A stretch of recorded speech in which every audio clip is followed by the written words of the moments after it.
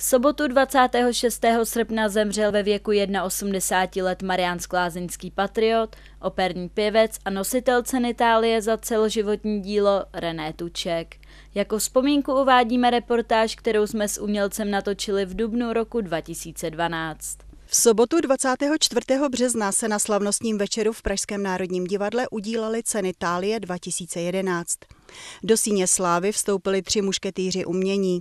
Za mimořádný přínos v oborech činohra, balet a opera byli oceněni Luděk Munzar, Vlastimil Harapes a mariánsko-lázeňská osobnost České opery René Tuček. K ocenění za celoživotní operní mistrovství René Tučkovi pogratulovalo ve čtvrtek 29. března na radnici i vedení města Mariánské lázně. Cenu jsem přebíral od Herecké asociace na jevišti Národního divadla, kde jsem taky eh, samozřejmě léta působil. Což je opravdu výjimečné, protože těch lidí, kteří takovou cenu dostanou, může být logicky hodně málo a pan René Tuček je jedním z nich.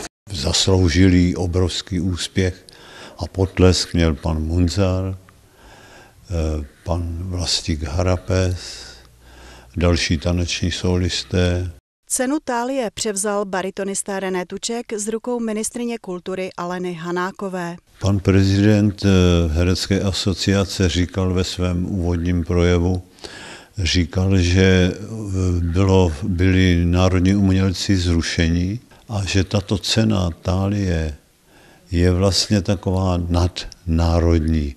Čili samozřejmě to by asi těšilo každýho, Oceněné celoživotní mistrovství operního pěvce začalo ve sboru plzeňské operety, pokračovalo v Českých Budějovicích a více než 10 let v Janáčkově opeře v Brně, než v roce 1970 na 20 let zakotvil v Praze. Do Mariánských lázní se René Tuček vracel vždy a rád. Já mám k Mariánkám veliký vztah. Celý život jsem se k tomu hlásil, i když mě některý eh, závistiví kolegové říkali, no jo, ty jsi v světě a když máš čas, tak máš čas pro Mariánky, že jo. Protože Mariánsko-Lázeňský a, a patriot, velký patriot Mariánek a reprezentant Mariánek, tak jsme pochopitelně považovali za vadného přijmout na radnici. Sportovně řečeno, jsem stále v drezu Mariánských lázních a že prostě Mariánský lázně mám rád. Prožil jsem tady krásné dětství, ze svých rolí si René Tuček nejvíce cení knížete Andreje Bolkonského ve Vojně a míru a Figara v Lazebníku Sevelském. Na jevišti si rozuměl s každým, kdo byl pěvecká i herecká osobnost. S velkou úctou vzpomíná zejména na Eduarda Hakena.